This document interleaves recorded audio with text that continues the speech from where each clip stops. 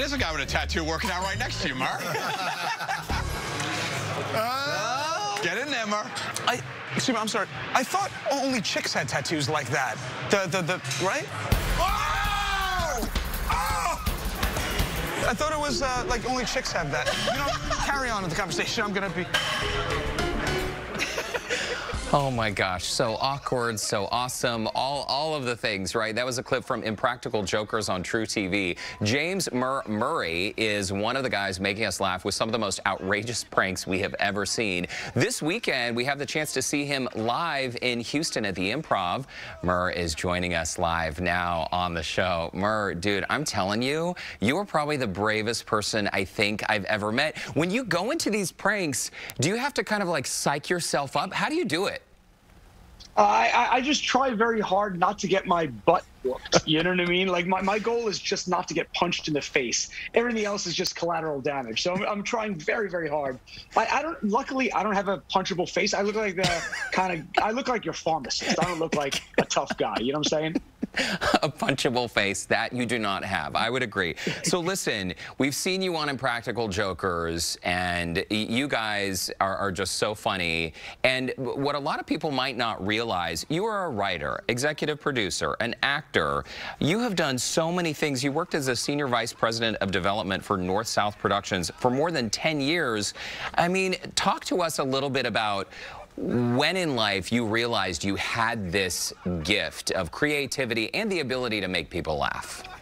Uh, I realized it uh, uh, probably about a, a, month and a half ago is when I finally felt like I had made it, even though the show's been on 11 years now. I, I, feel like I, it was about a month or two ago where I finally was like, you know, maybe this is working out.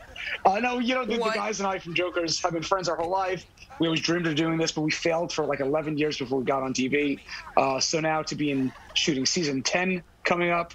Uh, every day has been a, a, blessing, and I'm glad I'm part of people's families, you know? Well, I think it's incredible. You only recently realized what a big deal you are. And thank you for all the laughs over the years. Please send our best to all the guys. You have five published titles and four more books on the way. International best-selling author. What are the new books about?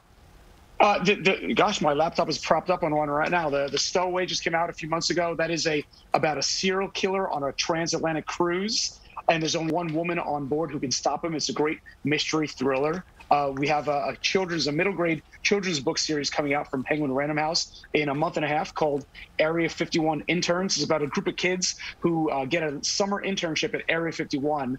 And the day they start work, all hell breaks loose. And it's up to the kids to save the day every single book at Area 51. It's a great, thrilling, funny read for kids. Uh, that comes out in just a few weeks. Okay, fantastic. Congrats on the books. By the way, uh, Nicolas Cage, I can't believe I haven't asked you about this so far. He's uh, he, he's very quiet.